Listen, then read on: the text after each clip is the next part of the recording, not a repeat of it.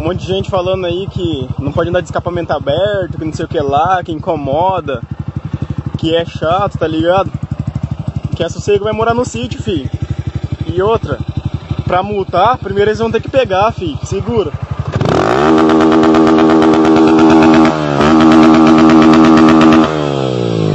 Tá ligado, naquele naipe, fi. Olha o que que vem. Eu venho pedir desculpa aqui, primeiramente população, sobre o barulho de escapamento de moto, que eu comentei no vídeo que eu fiz. E segundamente a toda guarda, polícia, fiscal de trânsito, pelo desrespeito que eu causei no meu vídeo. Fechou. Olha o que que vem.